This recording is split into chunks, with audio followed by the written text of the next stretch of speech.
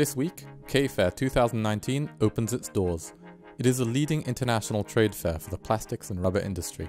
K-Fair 2019 focuses on circular economy. Indeed, plastics are invaluable in our everyday lives to keep food fresh, to make cars light, or to ensure maximum hygiene standards. But our planet is now choking with plastic waste. The world produces over 300 million tons of plastics every year. 50% of that is for single use purposes. The concept of circularity is to process goods at the end of their service life and reuse them to create new products. This creates an infinite or circular loop. New processes exist to recycle plastics and integrate them in a circular model. The Solar Impulse Foundation has labeled many solutions to recycle plastics.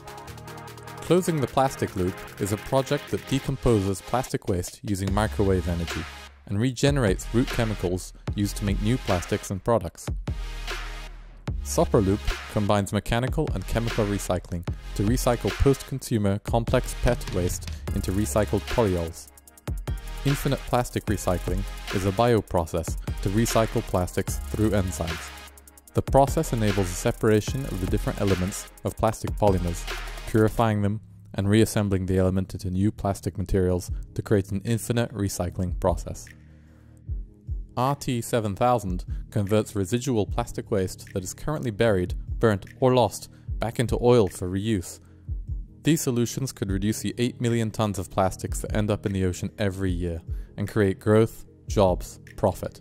They already exist. All we need is to scale them. Do you know a solution to fight plastic pollution?